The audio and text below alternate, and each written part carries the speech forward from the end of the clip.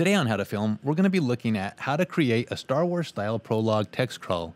This is beginner level, super easy, it doesn't require any plugins, and it's just in time for the new Star Wars film coming out this December so that all of you can start creating some videos to put up on your social media and all that good stuff. Let's get started. This is how to film a YouTube video.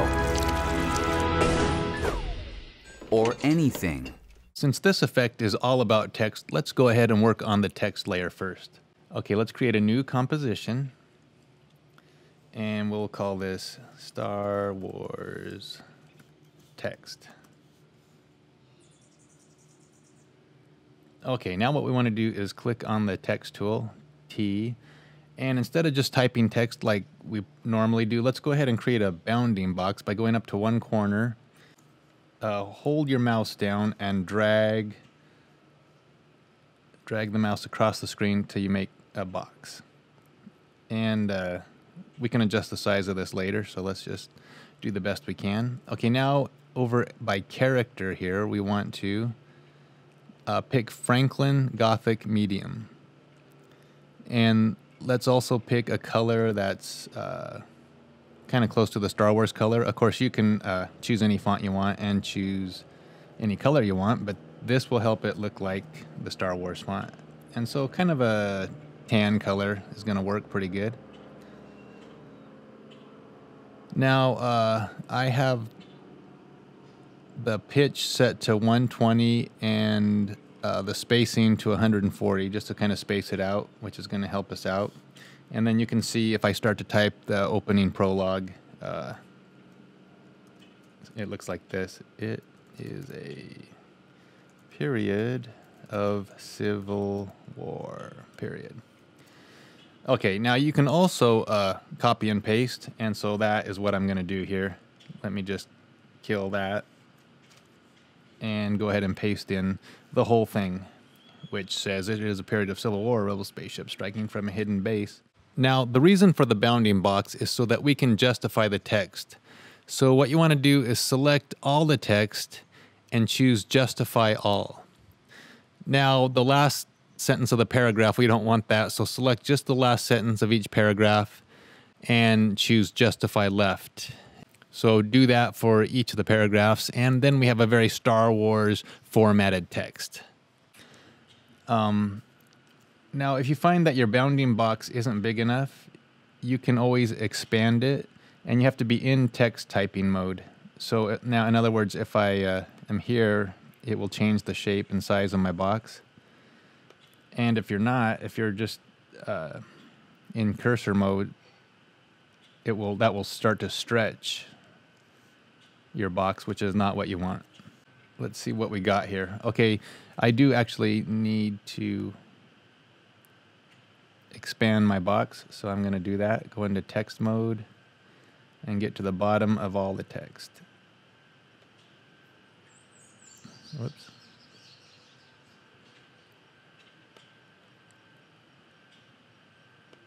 Okay, still not big enough. There's a little more there. Custodian of the stolen planes that can save her people and restore freedom to the galaxy. Okay, that's what we want. And then uh, we can still play with the size a little bit. Okay, so let's just work with that. The next thing we want to do is uh, make this into a 3D layer. So down here, you can see, I want to click this box. If you don't see it, you can toggle the modes. If you see uh, just the blending modes, that's not what we want. Toggle it to this mode and we can pick make that a 3D layer. Then the next thing we want to do is go ahead and let's bring up the position by typing P, hold down Shift, press R and S for scale. So we brought the position, the scale, and the rotation. And the thing we want to do here is rotate along the X axis. And let's make that. Mm-hmm something like that. So that's about 290 degrees. And that's looking pretty close. Uh, then we want to scale it. So the scale looks pretty close for me, but you can scale it so that uh, when the first line of text comes on, you can read it clear across. In other words, the ends aren't cut off. Okay, the next thing we want to do is keyframe the position because this thing's not moving and we want it to move. And so go ahead and click the stopwatch on position. And uh, here you see I, I did that on the very first frame. And then let's go to the very last frame. Oh, and I set this composition to be one minute, by the way. The actual Star Wars opening crawl is a little over a minute, but I figure uh, nowadays people can read a little faster than they could way back in 1977. If you want to make yours longer, feel free, or shorter. And depending on what you're putting in the text, you know, you, you'll have to adjust. Let's go to the last frame and also keyframe that. Okay, so for the starting position, let's go ahead and bring that down. Let's I'll leave that first line where we can see it, and then let's take uh, the Z space and move it forward in Z space.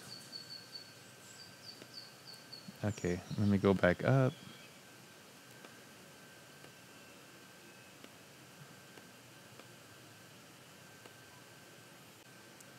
Okay, and then we'll go to the end. And we want z space way back there. So it's disappeared about that far.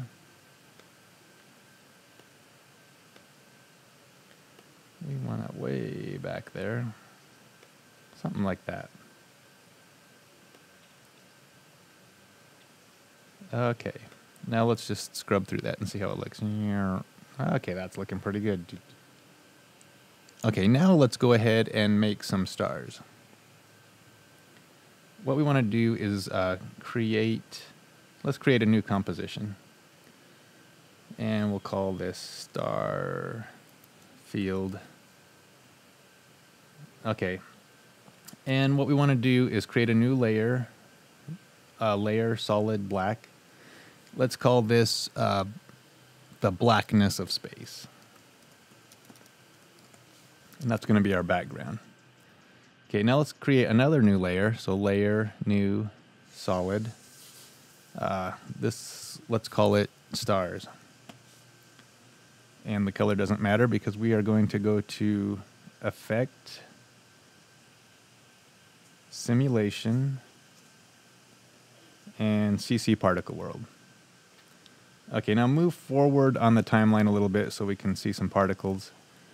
Um, those are what we're going to make into stars. So let's go ahead and uh, look at some of the settings here. Let's change the birth rate to ah, three, four, five, something like that. Let's try five.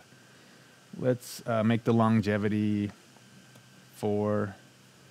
Let's make, let's go to the physics. And in the physics, let's go ahead and change the gravity to zero let's go ahead and and the particle. Let's change the particle type to faded sphere.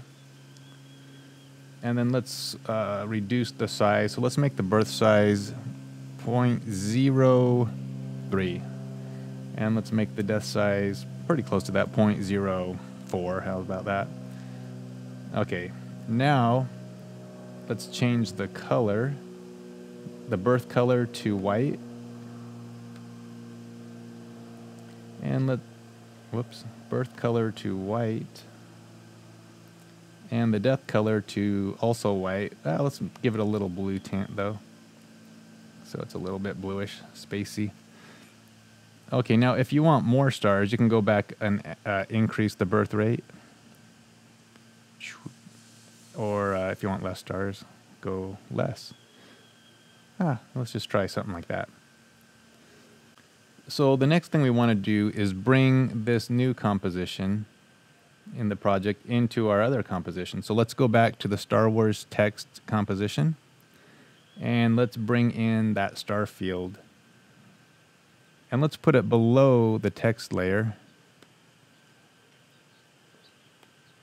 And that way it doesn't look like the stars are in front of our text.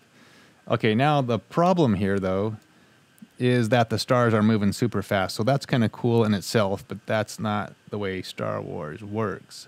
So what we want to do is just take a section here and we're going to change the time so that it moves much slower. In fact, if we want it still, we could just set it to one frame. But what we want to go is right click, go to time and enable time remapping. So let's go ahead and do that. And that automatically sets uh, keyframes on the first and last, but it's the same as what where we were. So from that point that we liked, let's go ahead and set a keyframe there. Let's just move ahead just a few frames, set a keyframe there, and then let's erase those other keyframes. So uh, by hitting these little arrows here, we can jump straight to the keyframes. We'll erase that one. Let's go to the end and erase that one. And then these new keyframes we made, let's stretch them out to the ends. And what that does is takes that little bit of time that we selected and stretches it over the whole period. So you can see those stars are still moving slightly. I kind of like it. It gives a little bit of motion, but actually it's uh, still a little bit much, I think. You see those? So if we want to slow it down even more, we can select a new keyframe. If we want to slow it down by half, go about halfway, make a new keyframe. I'm going to erase that last one that we just made. And now I'm going to bring this one clear to the end. And we have an even slower rate of stars. So most people won't even know that's moving, but it gives it a little bit of a dynamic feel to it. I like that. Let's let's go with that. Okay, now we're just about done. The one thing that's missing is in Star Wars, you'll remember that the text fades off toward the top. So the way to fix that is to let's go toward the end of the sequence where uh, that text should be disappearing. Let's go to the star field and copy that. Command D. Let's move that copy up above the text. And what that does is it just completely uh, covers everything. So uh, to see what's under there, let's go ahead and change the opacity by hitting T on the keyboard. That brings the opacity settings. Let's drop it to 50%, just temporarily. We'll bring it back to full opacity in a minute. And what we want to do on this field is create a mask around it. So make sure it's selected. Uh, go to the rectangle tool, select that, and then let's just draw a box. Nice box, clear around our text. Okay, now what we want to do is under that new mask we created, let's look at the properties and let's feather it up a little bit. Let's feather it I don't know, around 100, 97. And let's see what that does. Uh, let's go ahead and put the opacity back to 100%. And what we see is our text is starting to disappear, not starting to fade off, but it's actually fading too early. So what we want to do is click on that mask, click on our selection tool, and let's move that mask up. Let's try that. Okay, so now when the text gets there, it starts to fade off and goes into space. Let's move that up even a little more.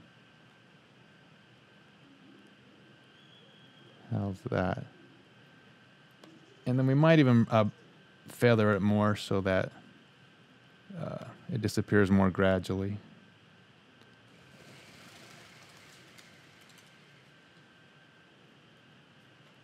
Okay, and so we didn't get the whole thing to quite disappear there.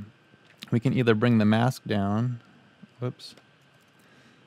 We can either bring the mask down a bit, or we can also go back to the text layer and move it back in Z space some more.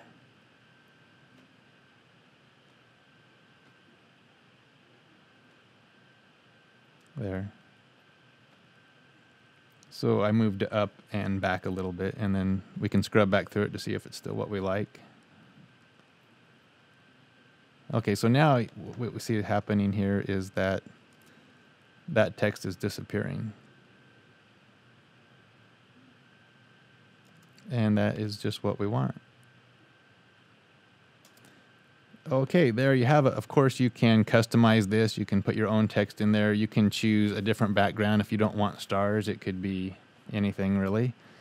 Uh, you can always adjust this too. It looks like maybe it should actually be a little bit further in the back. So what you can do is just move it further back in Z space, and also uh, move it oops higher in the Y spot. And now that's even looking more Star Wars ish. Delete this guy here. Delete. And there you have it.